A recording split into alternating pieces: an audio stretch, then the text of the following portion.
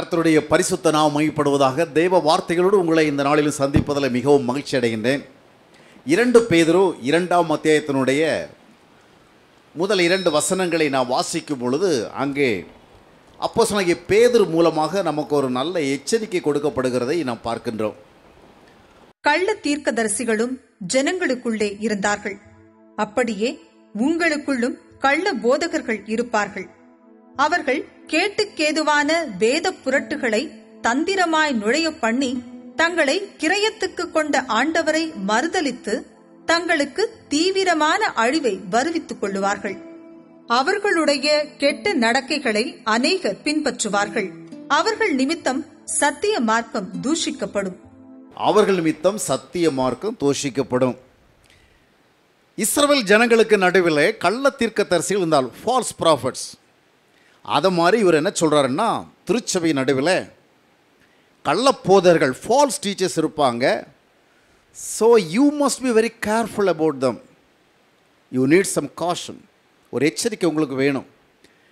கள்ளப்போதர்கள் அவர்களை குறித்த ஒரு எச்சரிக்கை உங்களுக்கு வேணும். அவர்கள் நிமித்தமாக சத்திய மார்க்கமும் கூட தூஷிக்கப்படும் நிலைமை ஏற்படும். அவர்களை கொஞ்சம் பேரில் நிறைய பேர் பின்பற்றுவார்கள். அதைத்தான் நம்ம இந்த நாட்களும் பார்க்குறோம். கள்ள தீர்க்கத்தரசிகளுக்கு பின்னாலே கள்ள போதகர்களுக்கு பின்னாலே வெகு திரளான மக்கள் கூட்டம் இருக்கிறதை பேதரும் சொல்லுகின்றார் யோவானும் சொல்லுகின்றார். இங்கே நாமும் சமகாலங்களிலே நாமும் பார்க்க முடிகின்றது. எனவே இந்த கள்ள போதர்களை குறித்து எச்சரிக்கையாக இருக்க வேண்டும். இந்த வேளையிலும் கூட பாஸ்டர்களுக்கு எச்சரிக்கையாக இருங்கள் என்ற ஒரு தலைப்பை முன்வைத்து பேசலாமான்ற ஒரு எண்ணம் வருகிறது. ஒருவேளை அந்த ஊரில் ஒரு தலைப்பை கேட்கும் பொழுது பாஸ்டலுக்கு எச்சரிக்கையாக இருக்க வேண்டும் என்று சொல்லுவதா?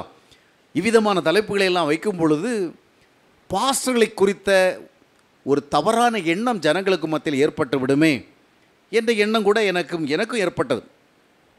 ஆனால் இதை நாம் தவிர்க்க முடியாது. ஒன்று யோவான் நான்காம் மத்தியத்தினுடைய முதலாவது வசனத்தை வாஸ்து பார்க்கும் பொழுது அநேகம் கள்ள தீர்க்கதரிசிகள் நம் மத்தியில் இருக்கிறாங்க. There are so many false prophets so many false teachers அவர்கள் நிறைய பேராக இருக்கிறதுனால நாம் எல்லா ஆவிகளையும் நம்பாமல் இந்த ஆவியெல்லாம் டேஸ் ஃப்ரம் காட் தேவனுக்கு இப்போ தேவனுக்கு வந்ததா என்று நாம் செக் பண்ணி பார்க்கணும் டெஸ்ட் பண்ணி பார்க்கணும்னு ரொம்ப தெளிவாக சொல்கிறார் ஒன்றியவன் ரெண்டாம் தேவனுடைய பதினெட்டாம் வசதி வாஸ்து பார்க்கும் பொழுது கூட நம்ம மத்தியில் நிறைய அந்தி கிறிஸ்துகள் இருக்கிறார்கள் என்று சொல்லுகிறார். அந்த காலத்திலே அவ்வளோ பேர் இருந்தாங்கன்னு சொன்னால் இந்த கடைசி காலத்தில் எவ்வளோ பேர் இருப்பாங்க? எனவே இன்றைக்கு நாம் பார்க்கின்ற ஏராளமான பாஸ்டர்கள் ஏராளமான சுவிசேஷகர்கள் கர்த்தருடைய ஊழியர்கள் என்று தங்களை அழைத்துக் கொள்ளுகிறவர்கள் அப்போஸ்தல்கள் என்று தங்களுக்கு பெயரிட்டுக் கொள்ளுகிறவர்கள் தீர்க்கத்தரசிகள் என்று தங்களை அழைத்துக் கொள்ளுகிறவர்கள் இவ்விதமாக பல்வேறு நிலங்களில் நிலைகளிலே தேவ ஊழியர்களாக தங்களை காண்பித்துக் கொள்ளுகிறவர்கள் உண்மையில் தேவ ஊழியர்கள் தானா என்று நாம் தேவையான சூழ்நிலைகளிலே சோதித்து பார்க்க வேண்டியது ஆராய்ந்து பார்க்க வேண்டியது அவசியமாக இருக்கிறது. குறிப்பாக இன்றைய திருச்சபைகளுக்கு தலைமை தாங்குகின்ற ஏராளமான பாஸ்டர்கள் அது மட்டும் இல்லை இன்றைய நாட்களில் சுவிசேஷ இயக்கங்களை நடத்துகிற பெரும்பாலான சுவிசேஷர்கள் வேத அடிப்படையிலான சத்தியங்களை மையமாக வைத்து ஊழியம் செய்யாതെ பார்க்க முடிகிறது. எனவே இவர்களை குறித்த ஒரு சோதனை என்ற நம்ம எந்த ஒரு பொருளையும் வாங்க போகிறதுக்கு முன்னாடி செக் பண்ணுறோம் தானே அது தப்பு கிடையாது. எந்த ஒரு மனிதரிடத்தில் ஒரு பெரிய கொடுக்கல் வாங்கல் பண்ணுறதுக்கு முன்னாடி அவர் ஒரு ஜென்யூன் தானா அவர் வந்து கரெக்ட் தானா அவர்கிட்ட நாம் டீல் பண்ணலாமா என்று நாம் சோதித்து பார்க்குறோம். ஒரு பள்ளிக்கூடத்தில் சேர்கிறதுக்கு முன்னாடி ஒரு ஹாஸ்பிட்டலில் போய் ஒரு ட்ரீட்மெண்ட் பெறுறதுக்கு முன்னாடி ஒரு நிறுவனத்தோடு ஒரு தொடர்பு வைக்கும் முன்னாடி எல்லா நிலைகளிலும் கூட அது வந்து சரியானதானா? அதனால் நமக்கு பிரச்சனை வராதா? என்றெல்லாம் நாம் பார்க்குறோம். இந்த நாட்களை பார்க்கும்பொழுது மருத்துவர்கள் கூட நிறைய போலி மருத்துவர்கள் இருக்கிறாங்க. எனவே எல்லா மருத்துவர்களையும் மருத்துவம் நம்ம எடுத்துக்கிட்டோம்னு சொன்னால் நமக்கு பல பிரச்சனைகள் வரும். எனவே போலி டாக்டர்களை குறித்து எச்சரிக்கை வேணும். எனவே அதுபோல் இந்நாட்களிலே தேவ ஊழியர்கள் உண்மையான தேவ ஊழியர்கள் தானா என்பதை நாம் ஆராய்ந்து பார்ப்பது தவறல்ல. ஏனென்றால் யாருமே தங்களை கள்ள போதகர்கள் என்றோ கள்ள தீர்க்கதரிசனம் அழைத்து கொண்டு வரமாட்டால் எல்லோரும் நல்லவர்களாகத்தான் தங்களை காண்பித்துக் கொள்வார்கள். தட் இஸ் நேச்சுரல் ஆகையால் நாம் தான் அவர்களை உரிய விதமாக சோதித்து பார்க்க வேண்டும். எல்லா ஊழியக்காரர்களும் எல்லா சுவிசேஷங்களையும் இவர் சரிதானா சரிதானா சரிதானா என்று நாம் பூத கண்ணாடி வைத்துக்கொண்டு அவர்களை சோதித்து பார்த்து கொண்டிருக்க முடியாது. அவசியமான சூழல்களிலே அவர்களிடத்திலிருந்து நாம் சில ஆலோசனைகளை பெற்றுக்கொள்ளவிருக்கிற சூழ்நிலை அவர்களால் நடத்தப்படுகிற ஒரு நிலையில் இருக்கும் பொழுது அவர்களால் போதிக்கப்படுகிற நிலைமையில் இருக்கின்ற பொழுது அவர்கள் மூலமாக நாம் சில ஆலோசனைகளை பெற்றுக்கொள்ளத்தக்கதான சூழ்நிலை இருக்கும் பொழுது முதலாவது அவர்கள் தேவன ஆவியால் நடத்தப்படுகிற தேவ ஊழியர்கள் தானா என்பதை நாம் சோதித்து பார்க்கக்கூடிய அவசியம். எனவே பாஸ்டர்களுக்கும் நம்ம எச்சரிக்கையாக இருக்கணும். சுவிசேஷர்களுக்கும் எச்சரிக்கையாக இருக்கணும். எழுத்தாளர்களுக்கும் எச்சரிக்கையாக இருக்கணும். என்ன எழுதுறாங்க என்ன சொல்கிறாங்க என்ன பிரசங்கிக்கிறாங்க எல்லாவற்றையும் குறித்தும் நமக்கு ஒரு சோதித்து பார்க்கின்ற மனநிலை அவசியம். எவ்விதமாக சோதித்து பார்க்கது பார்ப்பது எவ்விதமாக கண்டுபிடிப்பது என்பது ஒரு பெரிய கேள்வி. ஏனென்றால் யாரையும் நாம் எளிதாக கண்டுபிடித்து விட முடியாது. எல்லாருடைய வாழ்க்கையும் நாம் அவர்களுக்கு பின்னால் போய் அவங்கள ஃபாலோ பண்ணி அவங்க எங்கே போகிறாங்க எங்கே வருகிறாங்க என்ன செய்கிறாங்க எப்படி செய்கிறாங்க இப்படியெல்லாம் ரொம்ப சோதித்து பார்த்து கண்டுபிடிக்க முடியாது.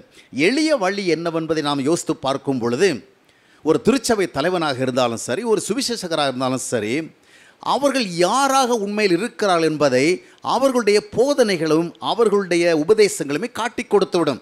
அதில் வந்து நமக்கு கொஞ்சம் பகுத்தறிவு தேவை. முக்கியமாக எந்த பாஸ்டலாக இருந்தாலும் சரி அவர்கள் அதிகமாக எதை குறித்து பிரசங்கம் பண்ணுறாங்க எதற்கு அதிக முக்கியத்துவம் கொடுக்குறாங்க என்பதை குறித்து கவனிக்க வேண்டியது போன்ற காரியங்களை நாம் தொடர்ந்து கவனிக்க போகிறோம். முக்கியமாக எந்த ஒரு பாஸ்டர் எந்த ஒரு சுவிசேஷகர் காணிக்கை தொடர்பான உபதேசங்களையும் காணிக்கை தொடர்பான போதனைகளையுமே அதிகமாக தம்முடைய சபை மக்களுக்கோ இல்லை என்றால் தங்களுடைய செய்திகளை கேட்க கொடுத்து கொண்டிருந்தால் அவரை நாம் கொஞ்சம் சோதித்து பார்க்கணும். நான் உங்களுக்கு ஏற்கனவே சொன்னேன் அவசியம் எல்லாரையும் நம்ம போய் அவங்களுடைய எல்லா இன்னும் டவுட்ஸையும் நம்ம செக் பண்ணி கண்டுபிடிக்க முடியாது. அவசியமான சூழ்நிலை தேவைகளுக்கு ஏற்படி நாம் அதை சோதித்து பார்க்கணும். இப்போது இவர்கள் அதிகமாக என்ன பேசுகிறாங்க என்ன உபதேசிக்கிறாங்க என்ன டீச் பண்ணுறாங்க எந்த மாதிரிப்பட்ட போதனைகளை கொடுக்குறாங்க என்பதை கவனித்து பார்க்க வேண்டும். அவர்கள் காணிக்கைகளை குறித்து அதிகமாக பேசி கொண்டிருக்கிறாள்னு சொன்னால் அவங்கள கொஞ்சம் நாம் சோதனை பண்ணி பார்க்கணும். ஏன்டா இன்றைக்கி அநேகர் இந்த காணிக்கை தொடர்பான காரியங்கள் தான் அதிகமாக கவனம் செலுத்தி அதனுடைய அடிப்படையில் செயல்படுவதை பார்க்க முடிகிறது. ஒரு தேவ ஊழியர் ஒரு பாஸ்டர் ஊழியங்களுக்காக காணிக்கை கொடுங்கள் என்று கேட்பது தவறு அல்ல ஏன்னா யாத்ராகும் புத்தகத்தோடு இருபத்தைந்தாம் அத்தியத்தை வாசித்து பார்க்கும் பொழுது மோசை மூலமாக ஜனங்களிடத்தில் மனப்பூர்வமாக காணிக்கைகளை கொண்டு வர சொல்லு அப்படிங்கிற கட்டளை அவனுக்கு கொடுக்கப்பட்டது. எனவே தேவ ஊழியக்காரன் காணிக்கை கொடுங்கள் என்று ஜனங்களுக்கு இடத்துல சொல்லுவதோ இல்லைன்னா ஜனங்களிடத்தில் போதனை பண்ணுவதோ தவறுன்னு சொல்லிவிட முடியாது. ஐயோ இவர் வந்து காணிக்கை கேட்க ஆரம்பிச்சிட்டார். அப்படி இல்லாமல் சொல்ல முடியாது. ஏன்டா தேவ ஊழியக்காரர் காணிக்கை கொடுப்பது சம்மந்தமான பேசுவது தவறல்ல. அது அவிதமாகவே நான் ஒன்று நாளாகவும் இருபத்தொன்பதாம் அத்தியாயத்தை நான் வாஸ்து பார்க்கும் பொழுது ஐந்தாம் வசதி வாஸ்து பார்க்கும் பொழுது தாவீது தேவாலயத்தை அஹ், கட்டுவது ஆயத்தங்களை செய்து கொண்டிருக்கின்ற பொழுது ஜனங்களிடத்தில் மனப்பூர்வமாக அது தொடர்பான காணிக்களை கொண்டு வருவதற்கு அவன் ஒரு அப்பீல் கொடுக்கிறத பார்க்குறோம். எனவே காணிக்கை கேட்கிறது தவறல்ல. ஆனால் ஒரு பாஸ்டர் அல்லது சுவிசேஷகர் தன்னுடைய பிரசங்களிலே அதிகமாக எதை குறித்து பேசுகிறார் என்பதை குறித்து கவனிக்க வேண்டும். எந்த ஒரு பாஸ்டாக இருந்தாலும் சரி எதற்கெடுத்தாலும் காணிக்கை எதற்கெடுத்தாலும் தசமபாகம் எதற்கெடுத்தாலும் டொனேஷன் எதற்கெடுத்தாலும் நிதி இது போன்ற காரியங்களை அதிகமாக மையப்படுத்தி பேசுகிறார் என்று சொன்னால் அவர் பணத்திற்காக பொருளுக்காக ஊழியம் செய்கிற ஒருவராக இருப்பதற்கு வாய்ப்பு இருக்கிறது. எனவே அவருடைய போதனைகளை நாம் ஆராய்ந்து பார்க்க வேண்டும். ஒன்று தீமோத்தை மூன்றாம் அத்தியாயத்தினுடைய மூன்றாம் வசனத்தை வாஸ்து பார்க்கும் பொழுது அப்போ பவுல் திமுத்தைக்கு இன்ஸ்ட்ரக்ஷன் கொடுக்கும் பொழுது அவர்கள் இழிவான ஆதாயத்தை இச்சிக்கக்கூடாது. அதாவது காணிக்கை என்ற பெயரிலே தங்களுக்கு ஒரு ஆதாயத்தை பெற்றுக்கொள்வதற்கு அவர்கள் முயற்சிக்கக்கூடாது. ரெண்டு பேதரு ரெண்டாம் அத்தியாயத்தினுடைய மூன்றாவது வசனத்தை நான் வாஸ்து பார்க்கும் பொழுது கூட இது தொடர்பான அவர்கள் பொருளாசை உள்ளவர்களாய் தந்திரமான வார்த்தைகளை வார்த்தைகள் மூலமாக உங்களை தங்களுக்கு ஆதாயமாக்கி கொள்வார்கள். அதாவது அவங்களுடைய அல்டிமேட் பர்பஸ் அவங்களுடைய அதாவது உண்மையான இன்டென்ஷன் என்னவென்று சொன்னால் they want to get some money from the people பொருளாசை லஸ்ட் ஃபார் த மணி அந்த பண ஆசை பொருளாசை இதுதான். அவர்களுடைய இருதயத்தில் இருக்கிற அதனுடைய அடிப்படையில் தந்திரமாக அவங்க எளிதாக கண்டுபிடிக்க முடியாத அளவுக்கு பிரசங்கம் பண்ணுவாங்க கண்டுபிடிக்க முடியாத போதனை பண்ணுவாங்க. இவ்விதமான போதனைகள் மூலமாக ஜனங்களை தங்கள் பக்கமாக இழுத்து கொள்வார்கள் இவர்களுடைய முழு நோக்கமும் ஜனங்கள் ஆவிக்குரிய வாழ்க்கையிலே வளர வேண்டும். அவர்கள் அப்போ பவுல் கொலோசியர் ஒன்றாம் மதியம் இருபத்தெட்டாம் வசனத்தில் சொல்லுகிறது போல எல்லாவர்களும் தேரினோல் நிற்க வேண்டும். இது போன்ற நோக்கங்களை கொண்டுராதபடிக்கு ஜனங்களிடத்திலிருந்து எவ்வளவு நாம் பெனிஃபிட் அடைய முடியும்? To what extent I can be benefit through these people இந்த மக்கள் வழியாக எவ்வளோ நான் பெனிஃபிட் ஆக முடியும்? அதே மனதில் வச்சுருப்பாங்க எனவே அது தொடர்பான காரியங்களை இவ்- நாம் ரொம்பவும் சோதித்து பார்க்க வேண்டும். காணிக்கை காணிக்கை காணிக்கை என்று அதிகமாக கேட்கிற தேவ ஊழியர்கள் பொருளாசினுடைய விளைவாக பணாசினுடைய விளைவாக ஊழியத்தை பணம் சம்பாதிக்கின்ற ஒரு தொழிலாக எடுத்துக்கொண்டு செய்வதற்கு அதிகம் வாய்ப்புண்டு. சில ஊழியக்காரங்க சொல்லுவாங்க அதாவது நாங்கள் ஏன் வந்து காணிக்கை குறித்து அதிகமாக பேசணும்னு சொன்னால் because we want the people to be blessed ஜனங்கள் ஆசீர்வதிக்கப்படுவதை விரும்புகிறோம். ஏன்னா அவர்கள் எவ்வளவுக்கு எவ்வளோ காணிக்கை கொடுப்பாங்களோ அந்த அளவுக்கு தான் they will be blessed by God அதனால் அவர்கள் காணிக்கை மூலமாக தேவனுடைய ஆசீர்வாதங்களை பெற்றுக்கொள்ள வேண்டும். எனவே நாங்கள் அதிகமாக டீச் பண்ணுறோம் அதிகமாக சொல்லுகிறோம் என்று அவர்கள் தங்களுடைய காணிக்கை குறித்து அதிகமாக பிரசங்கிக்கிறத நியாயப்படுத்துவாங்க. பல வருடங்களுக்கு முன்பாக ஒரு தேவ ஊழியக்காரர் சொன்ன எழுதின காரியம் எனக்கு ஞாபகம் இருக்குது. அவர் ஒரு குறிப்பிட்ட ஊருக்கு போயிருந்தார். குறிப்பிட்ட ஊருக்கு போயிருந்த வேளை அவர் அவர் சென்றிருந்த அந்த இல்லத்தில் அவருக்கு ஒரு ஒரு அந்த இல்லத்தை சேர்ந்த ஒரு குறிப்பிட்ட காணிக்கை கொடுத்தாங்க. ஆனால் இவர் அந்த நேரத்தில் வேண்டாம். அவருடைய நிலைமையை பார்த்து கொண்டு வேண்டாம் நீங்கள் இருக்கட்டும். காட் பிளஸ் யூ அப்படி சொல்லிட்டு ஜென்ரலாக காணிக்கையை வாங்காதபடினா அவருடைய நிலைமையை பார்த்துச்சு. இந்த நேரத்தில் அவருடைய காணிக்கையை வாங்குவது சரியில்லை. அவங்க ஒரு பொருளாதார ரீதியில் கொஞ்சம் பலவீனமாக இருக்கிறாங்க. எனவே இது வாங்க வேண்டாம்னு சொல்லி அவர் போயிட்டார். ஆனால் அவர் ஊர் போய் சேர்ந்த பிறகு என்ன நடந்துதான் கர்த்தர் வந்து அவருக்குள்ளே பே பேசிக்கொண்டே இருந்தாராம். அந்த பாரு உன்னிமித்தமாக அந்த குடும்பத்தை என்னால் ஆசீர்வதிக்க முடியாமல் போயிடுச்சு. உன்னிமித்தமாக அந்த குடும்பத்தை என்னால் ஆசீர்வதிக்க முடியாமல் போச்சு. என்ன அப்படிங்கிற விவரம் கேட்குறவள காட் வந்து அவர்களுக்கு என்ன சொன்னார்னா நீ அந்த காணிக்கையை வாங்காமல் வந்துட்ட அதனுடைய விளைவாக அவர்களை நான் ஆசீர்வதிக்க முடியலை. அதன் மூலமாக என்ன காட் சொல்ல வருவதாக அவர் புரிந்து கொண்டு சொல்லுகிறான்னு சொன்னால் ஓ அதன் மூலமாக காணிக்கை அவர்கள் கொடுத்தால் அதன் மூலியமாக தேவன் அவளை மிகுதியாக ஆசிர வாய்ப்பு கிடைத்திருக்கும். அந்த வாய்ப்பு கிடைக்காதபடிக்கு இவர் காணிக்கை வாங்காமல் வந்து விட்டார் என்று.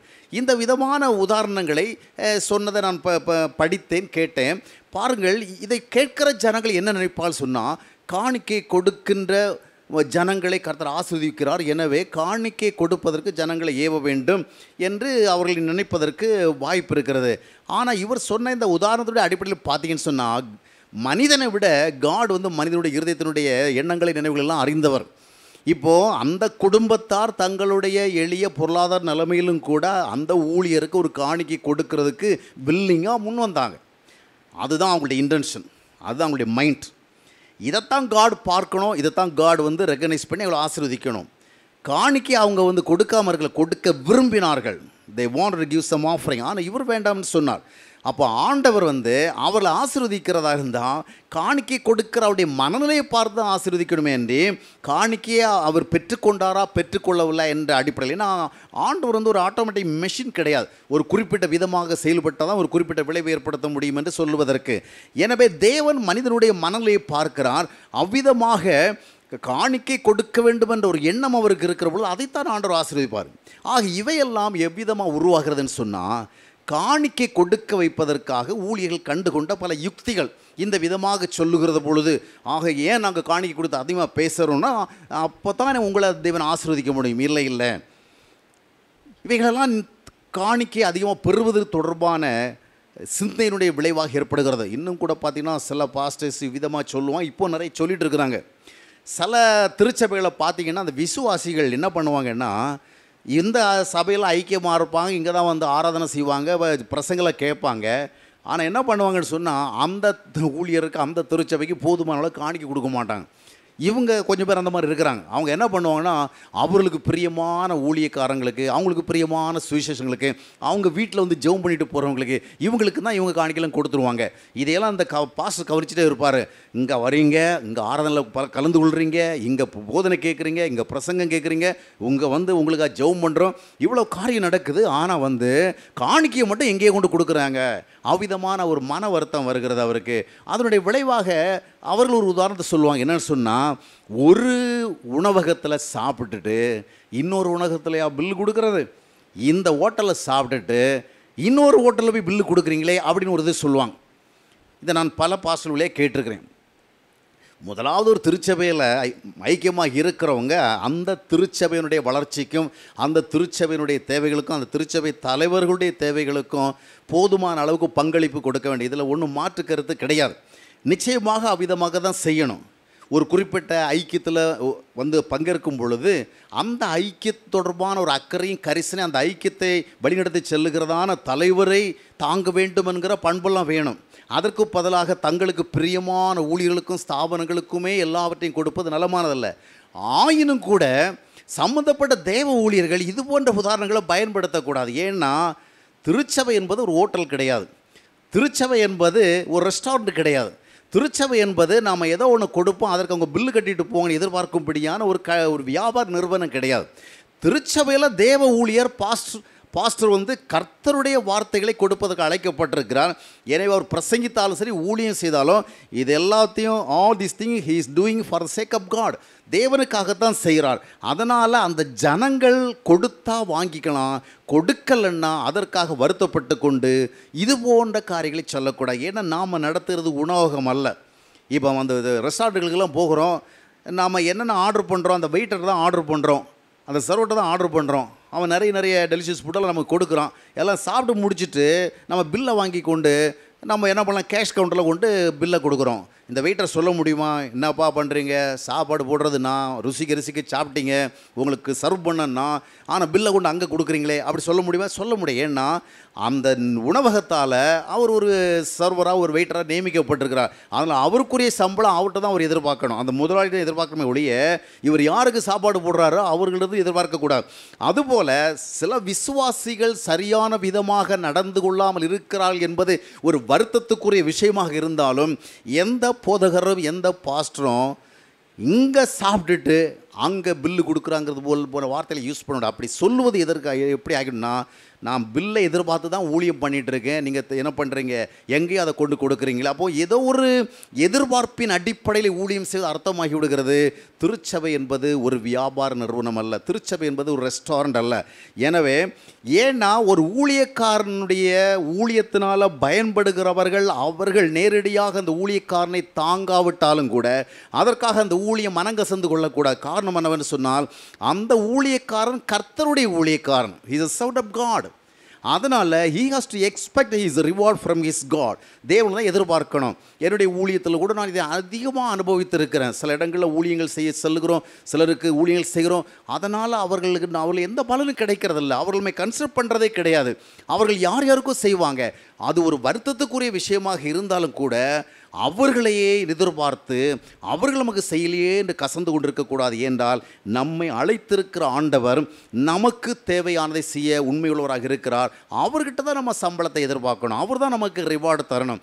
எனவே காணிக்கை தொடர்பான அதிகமான பிரசங்கங்களை செய்வது ஜனங்கள் ஆசீர்வதிக்கப்படுவதற்காகத்தான் என்று நம்ம சொல்வது முழு உண்மையாக இருக்க வாய்ப்பில்லை. ஏனென்றால் ஜனங்களுக்கு சத்தியத்தை அதிகமாக போதிக்கணும் நீதி குறித்து அதிகமாக போதிக்கணும் பரிசுத்தத்தை குறித்து அதிகமாக போதிக்கணும். உண்மையாக வாழ்வது நேர்மையாக வாழ்வது ஒழுக்கமாக வாழ்வது தாழ்மையாக வாழ்வது பொறுமையாக வாழ்வது பிறருக்கு நன்மை செய்து வாழ்வது இது போன்ற சவுண்ட் டீச்சிங்ஸ் கொடுத்து அவங்கள கிறிஸ்துக்குள்ளே நல்லா எக்யூப் பண்ணணும் நல்லா வந்து அவங்கள எடிஃபை பண்ணணும்.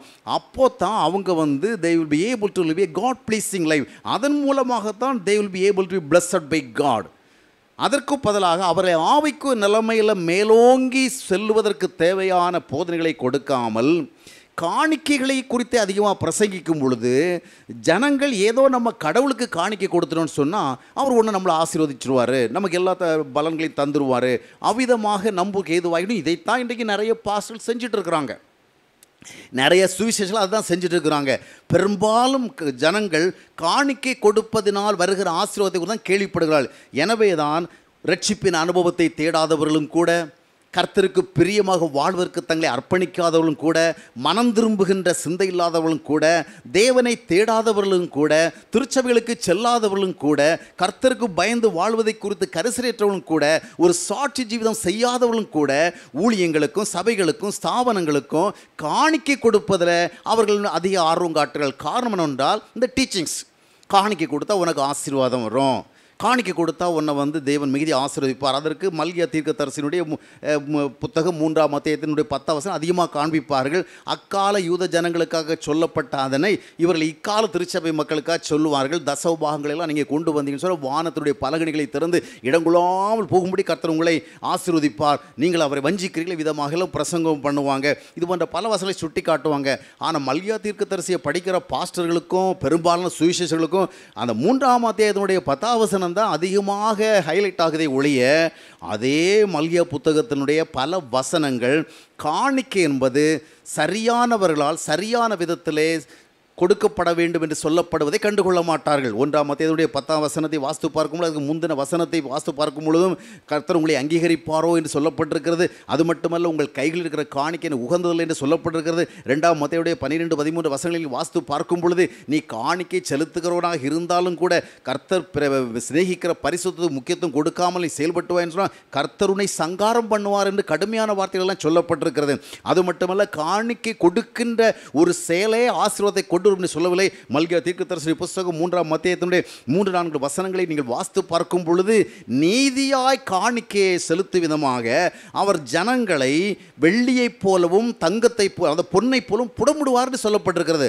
அப்போ இவ்வளோ வசனங்கள் இவ்வளோ சமாச்சாரம் மல்கியா தீர்க்கதரிசியுடைய புத்தகத்தில் ஏன்னா கர்த்தருக்கு காணிக்கை கொடுத்து கொடுக்கிறவர்கள் அதற்குரிய விதமாக கொடுக்கணும். அதற்கு உரிய பரிசுத்த பிறனையோடு கொடுக்கணும்.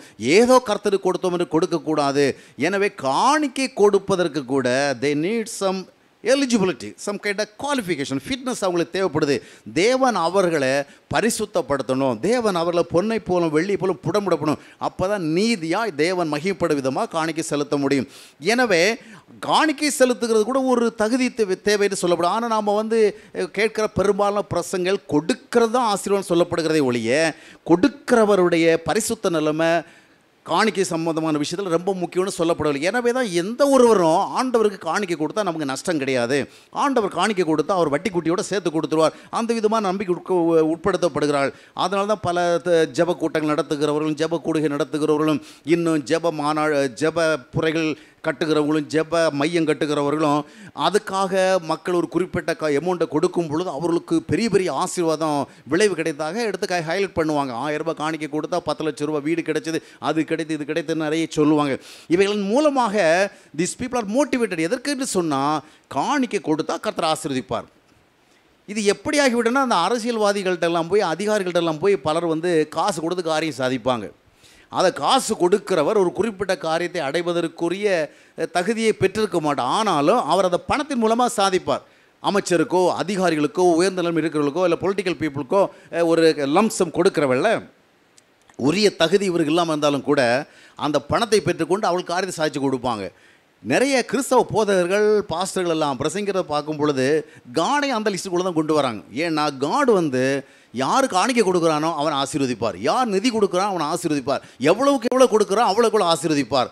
இது ஏறக்குறைய அரசியல்வாதிகள் லஞ்சம் வாங்கிக்கிட்டு ஆசி அவர்களுக்கு ந காரியம் சாதிச்சு கொடுக்கறது போல் தேவனை சொல்வது அர்த்தமாகிவிடும். என்றால் தேவன் காணிக்கையை மட்டும் பார்த்து ஆசீர்வதிப்பார் என்று ஜனங்கள் நம்புவதற்கு எது விதமாக காரியங்களை செய்கிறான் அப்படி அல்ல. காணிக்கை கொடுக்கிறவர் கொடுக்கின்ற ஒரு செயலில் காணிக்கை கொடுக்கிற மனுஷன் கர்த்தருக்கு ஏற்றவனாக இருக்கணும். கர்த்தருடைய வசனங்களுக்கு முக்கியத்துவம் கொடுக்கணும். கர்த்தருடைய நோக்கத்திற்கு முக்கியத்துவம் கொடுக்கணும். கர்த்தருடைய திட்டத்துக்கு முக்கியத்துவம் கொடுக்கணும். எனவே தன்னை கர்த்தருக்கு அர்ப்பணித்து தன்னுடைய வழிகளை தேவனுக்கு அர்ப்பணித்து தேவனுக்காக வாழ்கிற ஒரு மனிதன் தான் காணிக்கை கொடுக்க தகுதியானவர். அதைத்தான் நம்ம சொல்லலாம் ஆனால் அப்படி இல்லையே. நீங்கள் கொடுத்தா உங்களுக்கு ஆசீர்வாதம். அவங்க எவ்வளோ கொடுத்தாங்க அவ்வளோ ஆசீர்வாதம். அவங்க வந்து ஐயாயிரம் ரூபாய் காணிக்கை கொடுத்தாங்க அடுத்த மாதமே அவங்களுக்கு புதுசாக ஒரு வீடு கிடச்சிது. அவங்க பத்தாயிரம் ரூபாய் காணிக்கை கொடுத்தாங்க ஒன்று வேலை கிடச்சிது. அவங்க பதினாயிரரூபா ரூபாய் காணிக்கை கொடுத்தாங்க பொண்ணுக்கு கல்யாணம் ஆச்சுது. அவங்க இருபத்தாயிரரூபா ரூபாய் காணிக்கை கொடுத்தாங்க ஒன்று குழந்தை பிறந்தது. இந்த மாதிரியே நம்ம பிரச்சாரம் பண்ணி பிரச்சாரம் பண்ணி கர்த்தருடைய வேதத்தை நம்ம கொச்சப்படுத்தி விடுகிறோம். கர்த்தருடைய நாமத்தை நம்ம கொச்சப்படுத்தி விடுவோம் கர்த்தர் என்னமோ அவரையும் நாம் பணாசை நிறைந்தவருடைய லிஸ்ட்டில் கொண்டு வந்துடுறோம். ஏன்னா பணாசை பிடிச்சவங்க என்ன பண்ணுவாங்கன்னா காசுக்காக எதையும் செய்வாங்க. அவங்கள பொறுத்த வரைக்கும் பணம் தான் வேணும். நிறைய பொலிட்டிக்கல் லீடர்ஸில் கூட அதான் நம்ம பார்க்குறோம். பணத்தை வாங்கிட்டு எதை வேணாலும் செய்வாங்க. அதே மாதிரி நம்ம கருத்தை நினைக்க முடியாது. அதுதான் நம்ம ஆதிய நான்காம் மத்தியத்தில் காயின் காணிக்கை கொண்டு வந்தோம்ல காட் அக்செப்ட் பண்ணலை. இது போன்ற பல செய்திகளை நம்ம வேதாகமத்தில் கா பார்க்குறோம். ஆக தேவனால் ஏற்றுக்கொள்ளப்படத்தக்கதான ஒரு நிலைமையில் ஒருவர் இருந்தால் தான் அவருடைய காணிக்கைகளை கர்த்தர் அங்கீகரிப்பார். எனவே காணிக்கை குறித்து அதிகமாக பிரசங்கிக்கின்ற ஒரு தேவ ஊழியக்காரன் அவர் ஃபால்ஸ் டீச்சராக இல்லைனா ஃபால்ஸ் ப்ராஃபிட்டாக இல்லை ஒரு ஃபால்ஸ் பாஸ்டராக இருப்பதற்கு வாய்ப்பு நிறைய உண்டு. ஏனென்றால் விசுவாசிகளை ஆவிக்குரிய அனுபவங்களை வளர்ப்பது தொடர்பாகத்தான் அதிகமாக அவர் பேச. ஏன்னா ஆவிக்குரிய பின்னணி தான் ஆசீர்வாதத்தை கொண்டு வருகிறது. ஒரு மனிதன் எந்த அளவுக்கு தேவனை தேடுகிறதில்ல தேவனுக்கு பிரியமாக வாழுகிறதில்ல தன்னை அர்ப்பணித்து செயல்பட முன் வருகிறானோ அவன்தான் தேவனால் ஆசீர்வதிக்கப்படுவதற்கான தகுதியை பெறுகிறான். எனவே அது போன்ற காரியங்களை அதிகமாக பிரசங்கிக்க வேண்டும். அவ்விதம் இல்லாமல் காணிக்கை காணிக்கை என்று எதற்கெடுத்தாலும் காணிக்கை என்று பல திருச்சபைகளை சொல்லும் பொழுது உள்ளே போனால் ஒரு கவரை கொடுக்குறாங்க வெளியே வந்தால் ஒரு கவரை கொடுக்குறாங்க வீட்டில் வந்தால் ஒரு கவரை கொடுக்குறாங்க. எதற்கெடுத்தால் ஒரு கவர் கொடுத்து அதில் வேற எழுதிடுறாங்க. உற்சாகமாக கொடுக்குற இடத்துல கர்த்தர் பிரியமாக இருக்கிறார் எப்படிங்க உற்சாகமாக கொடுக்க முடியும்? நீங்கள் தான் ரைட்டில் லெஃப்ட்டில் திரும்புறனாலும் கவர் கொடுத்துட்டு இருக்கிறீங்களே. விழுந்தாலும் எழுந்தாலும் காணிக்க கேட்குறீங்க. நல்லதுக்கும் கெட்டதுக்கும் காணிக்க கேட்குறீங்க. சா வீட்லேயும் காணிக்க தான் கேட்டு கல்யாண வீட்லையும் காணிக்க தான் கேட்குறீங்க. அப்புறம் எப்படி உற்சாகமாக கொடுக்க முடியும்? ஆக அந்த வசனத்தை வர அதில் எழுதி போட்டிருப்பா என்னன்னு சொன்னால் கொடுங்கள் அப்பொழுது உங்களுக்கு கொடுக்கப்படும். ஆனால் அந்த வசனம் பார்த்திங்கன்னா ஆக்சுவலாக பிற ஜன் பிறருக்கு நன்மை செய்வது தொடர்பான ஒரு வசனம். அதுதான் லூக்கு ஆறாம் நம்ம படிக்கிறோம். ஆனால் அதை வந்து இவங்க மிஸ்யூஸ் பண்ணிடுவாங்க. தங்களுடைய அதை இவங்க அட்வான்டேஜ் எடுத்து என்ன பண்ணுவாங்கன்னா நம்ம காணிக்கை கொடுக்கறதுக்காக கொடுக்கப்பட்ட வசனம் போல் காமிச்சு நீங்கள் எவ்வளோ எவ்வளோ காணிக்கை கொடுக்குறீங்க அவ்வளோ எவ்வளோ கடவுளுங்க ஆசீர்வதிப்பார். ஆக அர்த்தத்தையும் மாற்றிடுறாங்க எனவே இது போன்ற பாஸ்டர் இடத்துல நீங்கள் எச்சரிக்கையாக இருக்கணும். அதுபோல் இந்நாட்களில் அதிகமாக பார்க்கும் பொழுது வள வாழ்வின் உபதேசங்கள் அதாவது ப்ராஸ்பரிட்டி காஸ்பல் ப்ராஸ்பரிட்டி டீச்சிங் பெரும்பாலான போதகர்களுடைய போதகத்தினுடைய அந்த எசன்ஸ் அதனுடைய மைய கருத்தை பார்க்கும் பொழுது ஜனங்கள் பொருளாதார ரீதியில் ரொம்ப சவுண்டாக ரொம்ப வெல்த்தியாக ஹெல்த்தியாக இருக்கிறது இதுதான் ஆவிக்குரிய வாழ்க்கைங்கிற மாதிரி காண்பிக்கிறாங்க அதாவது வளமையான வாழ்க்கை எல்லாத்துலேயும் செழிப்பு பொண்ணும் பொருளுடைய ஏன்னா அது ஆபிரகமாக அதற்கு அவங்க மாடலாக காட்டுறாங்க தாவித மாடலாக காட்டுறாங்க சாலமன மாடலாக காட்டுறாங்க. ஏன்னா அவங்கள்ட்ட பொன் வெள்ளி ஆஸ்தி அந்தஸ்து அதிகாரம் அந்த மாதிரி எல்லாமே அபண்டண்ட்டாக இருந்து அதே போல தான் நீ ஆசீர்வதிக்கப்படும் என்று வள வாழ்வை குறித்து அதிகமாக போதிக்கிறத நம்ம பார்க்க முடியும். ஆண்டவர் கர்த்தர் தம்மை பின்பற்றுகிற மக்களை வளமையாக வைக்க மாட்டார் என்றால் நான் சொல்வதில்லை. ஆபிரகாமை போல கூட ஒரு விசுவாசியை கர்த்தர் வளமையாக வைக்கக்கூடும். அதே நேரத்தில் தேவனுடைய இன்னொரு நோக்கத்தின்படி ஒரு பவுலைப் போல ஒன்றுமில்லாதவளாகவும் வைக்க முடியும். அது நம்முடைய விருப்பத்தின் அடிப்படையில் தேவன் நம்மை உபயோகப்படுத்தினுடைய அடிப்படை சார்ந்தது. ஆபிரகாமை செல்வ நிறைந்த சீமானாக வைத்த அதே தேவன்தான் புதிய பாட்டில் மிக வல்லமையாக பயன்பட்ட அப்போசனாகிய பவுலை உண்பதற்கும் உடுப்பதற்கும் இருப்பதற்கும் கூட இல்லாமைகளோடு இருந்த ஒரு நிலைமையிலே வைத்திருந்தார். இதைத்தான் நான் ஒன்று கூர்ந்து நான்காம் மத்தியத்தினுடைய பதினொன்று பன்னிரெண்டு வசனங்களை நாம் வாசிக்கிறோம். ஆக அந்த அளவிற்கு பவுலை வந்து ஒன்றுமில்ல நிலைமையை வைத்திருந்தார். கர்த்தர் யாரை எவ்விதமாக வைப்பார் சொல்ல முடியாது. ஆனால் ஆசீர்வாதங்கள் என்பது ஒரு மனிதனிடத்தில் இருக்கிற வளமைகளின் அடிப்படையில் அல்ல. ஒருவனிடத்தை ஒருவனுக்கு தேவன் மிகுதியாக காசையும் பணத்தையும் கொடுத்து விட்டால் அவன் ஆசிர்வதிக்கப்பட்டவனாக இருப்பான் அர்த்தம் கிடையாது. அப்படி இருந்தால் சாலமன் ஒரு ஆசிர்வதிக்கப்பட்டவனாக இருந்திருக்க வேண்டும். பொருளையும் பொருளையும் ஆஸ்தி அந்தஸ்தையும் மிகுதியான பேர்புகளையும் பிரஸ்தாபத்தையும் எல்லாம் தேவன் கொடுத்திருந்தார். ஆனாலும் கூட அந்த மனிதனுடைய நிலைமை என்னவென்று சொன்னால் மாயை மாயை எல்லாம் மாயை எல்லாம் மாயை மனதுக்கு சஞ்சலமாக இருக்கிறது என்று புலம்புகின்ற ஒரு நிலைமையாகத்தான் காணப்பட்டது. எனவே தேவனே ஆசி அந்தஸ்தும் அதிகமாக கொடுத்துட்டாலும் அதனால் நம்ம ஆசிர்வதிக்கப்பட்டவளாக இருப்போம் என்று கூற முடியாது. எனவே எனக்கு ஆஸ்தி வேண்டாம் எனக்கு அந்தஸ்து வேண்டாம் எனக்கு காசு வேண்டாம் பணம் வேண்டாம். அப்படியெல்லாம் நாம் வந்து ஜெபம் பண்ண தேவையில்லை. அது ஆண்டவருடைய விருப்பம். It is up to God to take decision அவர் எடு அவர் எடுக்கிற தீர்மானம் தான் என்ன அவர் வந்து பணக்காரனாக வைத்தும் பரிசுத்தமான ஒரு வாழ்க்கையில் நிறுத்த முடியும்? இல்லை என்றால் பணம் போதிய அளவு இல்லாத ஒரு சாதன நிலைமையில் வைத்தும் அவருடைய நோக்கத்தை நிறைவேற்ற முடியும். எனவே வறுமை என்னை வறுமையாக வைத்தோடு நம்ம ஜெபம் பண்ண தேவை சிலர் அப்படி தான் நினைக்கிறாங்க. நம்மளோட காசு இருக்க கூட பணம் இருக்க கூட ஒன்றுமே இருக்க கூட நல்ல வீடு இருக்க கூட நல்ல ட்ரெஸ் இருக்க கூட எதுவும் அப்படியெல்லாம் கிடையாது. நாம் கொஞ்சம் சவுண்டாக இருக்கிறத கர்த்தர் வ- ஒரு வழியை கொடுத்தனா அதுவும் நல்லதான் ஏன்னா நாம் நன்றாக இருந்தால் தான் நாம் நல்ல பேருக்கு நல்லதாக நல்லதை செய்ய முடியும். நாம் கொஞ்சம் வெல்த்தியாக இருந்தால் மற்றவங்களுக்கு பிரயோஜனம் ஏற்படும். அது ஒரு பக்கம் இருக்குது ஆனாலும் வள வாழ்வை அடிப்படையாக வைத்த உபதேசங்கள் உண்மையானவைகள் அல்ல. நீங்கள் வளமையாக இருப்பதும் செல்வ செழிப்போடு இருப்பதும் இதுதான் கர்த்தருடைய எதிர்பார்ப்பு என்று சொல்லி அது தொடர்பான காரியங்களையே சொல்லி அதை குறித்தே பிரசங்கம் பண்ணி அதே கிறிஸ்தவ உபதேசம் என்று காண்பிப்பது ஃபால்ஸ் இப்படிப்பட்ட ஃபால்ஸ் டீச்சர்ஸுக்கும் falls ப்ராஃபிட்ஸுக்கும் we must be very careful ஏன்? வள வாழ்வை போதிக்க என்ன தப்பு? ஆபிரகாம் செல்வச்சீமனாக இருந்தால் அதை நம்ம போதிக்க என்ன தப்பு? பாருங்கள் சில சம்பவங்களை அடிப்படையாக வைத்து நாம் போதனைகளை உருவாக்க முடியாது. எது பிரசங்கிக்கப்பட வேண்டும் என்று சொல்லப்பட்டிருக்கிறதோ எது போதிக்கப்பட வேண்டும் என்று சொல்லப்பட்டிருக்கிறதோ எது உபதேசிக்கப்பட வேண்டும் என்று சொல்லப்பட்டிருக்கிறதோ அதைத்தான் நாம் செய்ய வேண்டுமே எழிய ஏதோ சில சம்பவங்களின் அடிப்படையை வைத்துக்கொண்டு அதையே உபதேசமாக்கி அதையே போதனையாக்கி அதையே இரவும் பகலும் நாம் பிரசங்கம் பண்ணி கொண்டிருக்கக்கூடாது ஏன்னா எபேசி ரெண்டாம் அத்தியாயத்தினுடைய இருபதாம் வசனத்தைகள் வாஸ்து பார்க்கும் பொழுது அப்போஸ்தலர்களுடைய அஸ்திபாரத்தின் மேலே நாம் கட்டப்பட்டவர்களாக இருக்க வேண்டும் என்று அதுக்கு சொல்லப்பட்டிருக்குது. அப்போஸ்தலருடைய உபதேசங்கள் அப்போஸ்தலருடைய டீச்சிங்ஸ் அவர்களுடைய போதனைகள் அவர்களுடைய உபதேசங்கள் அவர்களால் கொடுக்கப்பட்ட வழிமுறைகள் இவைகள் தான் நம்முடைய ஆவிக்குரிய வாழ்க்கையினுடைய ஒரு ஃபவுண்டேஷனாக இருக்கிறது. அவ்விதமாக பார்க்கும் பொழுது இன்றைக்கு நாம் என்ன போதிக்கிறோம் என்ன உபதேசிக்கிறோம் இதற்கு எது மாதிரின்னு சொன்னால் ஏசு கிறிஸ்து எதை போதித்தார் எவ்விதம் போதித்தார் எந்த காரியங்களை போதித்தார். அவருக்கு பின்னால் வந்த பேதுரு யோவான் அப்போ பவுல் இவர்கள் என்ன போதித்தார்கள்? எதை மையப்படுத்தி பிரசங்கித்தார்கள்? எதை விசுவாசிகளுக்கு அதிகமாக சொல்லிக் கொடுத்தார்கள்? அவருடைய உபதேசங்களுடைய தரம் என்ன? இதை நான் கவனிக்க வேண்டும் ஏனென்றால் நாம் ஒன்றை செய்யும் பொழுது அதற்கு வேத ரீதியான முன்னுதாரணங்கள் அவசியம். இன்றைக்கி வளவாழ்வின் போதனை வளவாழ்வின் போதனை சொல்லி நீ ரொம்ப பெரிய ரிச்சாக இருக்கணும். நீ ரொம்ப வசதியாக இருக்கணும். நீ தான் டாப் மோஸ்ட் கார் வச்சுருக்கணும். நீ தான் ரொம்ப லக்ஸுரி லைஃப் வைக்க வாழணும். அப்படிலாம் நீங்கள் சொல்லி கொடுக்குறீங்களே இதற்கு நீங்கள் யாரை முன்மாதிரியாக வைத்திருக்கிறீர்கள்? எந்த அப்போஸ்தலரை முன்மாதிரியாக வைத்திருக்கிறீங்க? எந்த இயேசு கிறிஸ்துவோட சீடரை முன்மாதிரியாக வைத்திருக்கிறீங்க? எந்த காஸ்பலில் இதை நீ கண்டுபிடிச்சிங்க? எந்த எபிசோடில் கண்டுபிடிச்சிங்க? நான் ஏற்கனவே சொன்னபடி வளமையாக ஆண்டவர் நம்மை வைத்தால் அதை நம்ம வாலண்டியராக அக்செப்ட் பண்ணிவிட்டு அதுக்கு அதை கொண்டு நம்ம மற்றவங்களுக்கு பயன்படுத்தி கற்று நாமத்தை வேணும் அது வேறு விஷயம். அதே நேரத்தில் இவைகள் அல்ல போதனைகள். இவைகள் தேவனால் தானாக வரும். என்றால் ஆறு முப்பத்தி மூணு மத்திய வாசித்து பார்க்கும் பொழுது முதலாவது தேவனுடைய ராஜ்யத்தை தேடு. அப்பொழுது இவளெல்லாம் கொடுக்கப்படும். அப்போ நம்முடைய எண்ணங்களும் நினைவுகளும் சிந்தைகளும் வாஞ்சிகளும் தேவனுக்கு பிரியமாக வாழ்வது தொடர்பாக இருந்தால் போதும். மற்றபடி நாமளை எந்த லெவலில் வைக்கணுங்கிறத ஆண்டவரை டிசைட் பண்ணுவார். நான் ரொம்ப பணக்காரனாகணும்னு ஆசைப்பட்டால் தான் என்ன ஆண்டவராக பணக்காரனாக்க முடியும்? என்ன நான் ரொம்ப செல்வந்தனாக வேண்டும் என்று ஒரு விஷன் வச்சாதான் ஆண்டவனை உயர்த்தான் அப்படியெல்லாம் கிடையாது. காடுக்கு வந்து டிஸ்கிரிப்ஷன் பவர்லாம் இருக்குது. அவராகவே எல்லாம் சிந்திப்பார். அவர் யாரை எந்த விதமாக வைக்கணும் தெரியும். அதனால் அவர் என்ன சொல்லியிருக்காருன்னா என்னுடைய வழிகளில் நீ நட என்னுடைய வார்த்தைகளுக்கு முக்கியத்துவம் கொடு. உன்னிடத்தில் எந்த விதமான ஒரு வாழ்க்கை முறை எதிர்பார்க்கப்படுகிறோ அந்த விதமான வாழ்க்கை முறை நீ வாழ்வதற்கு தேவையான கிருவிகளை இடத்துல தேடு. ஆக தேவ சித்தத்தின்படி வாழ்வதற்கு நீ முன்வா அப்படி வாழும் பொழுது வருகிற பொழுது உன்னை எந்த நிலைமையில் நான் வைக்கணுமோ அந்த நிலைமையில் வைக்க எனக்கு தெரியும். அதை விட்டு போட்டு இல்லை நான் அதை குறித்து சொப்பனம் கண்டாதான் நான் அதை குறித்து தரிசனம் கண்டாதான் நான் அதை கிளைம் பண்ணாதான் நான் ஆபிரகாமை போல செல்வச்சியமாக இருப்பேன் நான் ச சாலோமனை போல நிறைய வசதியோடு இருப்பேன். அந்த மாதிரி கனவு நான் ஒன்றும் தேவை கிடையாது சார். இதெல்லாம் ஆண்டோ டிசைட் பண்ணிக்குவார்.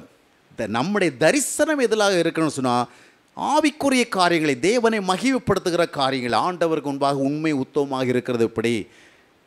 ஆண்டவருக்கு முன்பாக பரிசுத்தமாக வாழ்கிறது எப்படி? ஆண்டவர் பிரியப்படுத்தி வாழ்கிறது எப்படி? ஆண்டவருடைய ஐக்கியத்தை தேடி வாழ்வது எப்படி? ஆண்டவருடைய நாமத்தில் அடுத்தவங்களுக்கு பிரயோஜனமாக இருப்பது எப்படி? இது போன்ற மேலான காரியங்கள் இதுதான் கொலோசியர் மூன்றாம் மத்தியில் வாசிக்கிறோம். மேலானவைகளை தேடு அதை தேடுகிற பொழுது ஆண்டவர் என்னை எந்த நிலைமையில் வச்சா நான் சந்தோஷமாக சமாதானமாக அப்படி வாழ்ந்து அவருடைய திட்டத்தை நிறைவேறும் அந்த நிலைமையில் வைப்பார். இதில் ஒன்றும் நமக்குன்னு ஸ்பெஷல் விஷனும் ஸ்பெஷல் கனவும் தேவை கிடையாது. இந்த விசுவாச பிரசனைகள் இந்த ப்ராஸ்பெட்டி ப்ரீச்சை சொல்கிறது மாதிரி அதே தரிசனம் கண்டு அதே கனவு அதான் ஏன் உலகத்தில் எல்லாம் செய்கிறான் அதே தான் நீ செய்கிற அழைக்கப்பட்டிருக்கிறாய் உன்னுடைய கனவு எதுவாக இருக்க வேண்டும்? ஆண்டவர் உன்னை எதற்காக பிடித்தாரோ அதை நீ பிடிச்சிக்கிறதுக்கு. அதுதான் உன்னுடைய கனவாக இருக்கணும். அப்பொழுது கர்த்தனமே ஆசிர்வதிப்பார். இப்போது இந்த விதமான வளவாழ்வின் பிரசங்களை பண்ணுகிற பொழுது அந்த போதர் இடத்துல நீங்கள் கேட்கணும் ஐயா நீங்கள் போதகம் பண்ணுறீங்க ரைட்டு இதையே விலாவாரியை விச விவரிக்கிறீங்க. ஏன்னா இந்த வளவாழ்வை குறித்து பிரசங்கம் பண்ணுறதுக்கு ரெண்டு காரணம் உண்டு. ஒன்று இவர்கள் வளமாக வாழ விரும்புகிறார்கள். அதான். அவங்களுடைய பிரைம் கன்சர்ன் சொன்னால் பிரைம் டார்ஜெட்னு சொன்னால் இந்த விசுவாசிகளை பயன்படுத்தி இவருடைய பிரசங்கத்தை கேட்குறவங்கள பயன்படுத்தி they want to be rich இவங்க நல்லா லக்ஸுரியாக வாழ விரும்புகிறாங்க ஆக வளவாழ்வைக்கு ஒரு என்ன பிரசங்கம் பண்ணுறானோ அதை தான் வாழ்க்கையில் ரொம்ப ஆசைப்பட்டிருக்கான்னு அர்த்தம். வளவாழு வளவாழு வளவாழு ப்ராஸ்படி ப்ராஸ்படினே பிரசங்கம் பண்ணிகிட்டு இருந்தா இதுதான் இவருடைய ஐடியா இவர் பணக்காரராக இருக்க விரும்புகிறார் இவர் நல்ல லக்ஸுரி லைஃப் வாழ விரும்புகிறார் இவர் ஒன்றுக்கும் குறைவிடாதபடி சகல சௌகரியத்தை அவன் அனுபவிக்க விரும்புகிறான். இரண்டாவது காரணம்னு சொன்னால் பெரும்பாலும் ஜனங்கள் காசு பணம் விஷயத்தில் ரொம்ப ஆசையாக தரும்போது தட் இஸ் நேச்சுரல் அதனால் வளவ வளமையான வாழ்வு இயேசு தருகிறார். செழிப்பான வாழ் வாழ்வு இயேசு தருகிறான்னு ஒரு ஒரு போதித்தான் அது கேட்குற எல்லாருக்குமே பிரியமாக நிறைய பொருளாதார பிரச்சனை இருக்குது. புற நெருக்கடி இருக்குது. எனவே இது தொடர்பாக பிரசங்கம் பண்ணுகிற பொழுது அதை எல்லாரும் விரும்பி கேட்பாங்க. அதற்கு பதிலாக நீங்கள் பரிசுத்தமாக வாழ வேண்டும் நீங்கள் உண்மையாக வாழ வேண்டும் நீங்கள் பொறுமையாக வாழ வேண்டும் நீங்கள் சகிப்புத்தன்மையோடு வாழ வேண்டும். ஆவியிலே நீங்கள் எளிமையாக இருக்கணும் இதயத்தில் பரிசுத்தமாக இருக்கணும் நீங்கள் சாந்தமாக இருக்கணும் நேர்மையாக இருக்கணும் சரியாக இருக்கணும். இந்த மாதிரிலாம் டீச் பண்ணால் ஜனங்கள் இதை வந்து ரொம்பவும் விரும்ப முடியும். ஏன்னா இது ஹாட் டீச்சிங்ஸ் இதை மாதிரிலாம் யார் வாழ முடியும்? சத்துருக்களை எப்படி போய் நேசிக்கிறது? பகவலுக்கு எப்படி போய் நன்மை செய்கிறது? நிந்திக்கிறவங்களை எப்படி ஜெபம் பண்ணுறது இதெல்லாம் வெரி டஃபஸ்ட் திங்ஸ் ஆனால் காட் நம்மளை ஆசிர்வதிக்கிறார். ஆபிரகாமைப் போல வெள்ளியும் பொன்னு நிறைந்த சீமானாக வைக்க விரும்புகிறார். சாலமோனைப் போல அறிவு மிகுந்தவனாக வைக்க விரும்புகிறார். யோசைப்பை போல ஒரு பெரிய அதிபர் இந்த மாதிரி டீச் பண்ணால் எல்லாரும் கேட்பாங்க. அப்போ he will be benefited more இந்த பாஸ்ட்டுக்கு அதனால் நிறைய பெனிஃபிட் உண்டு. ஏன்னா இவரை கேட்குறவங்களும் இவருடைய டீச்சிங்கில் வந்து they will be convince they will be pleased அதுதான் காரணம்.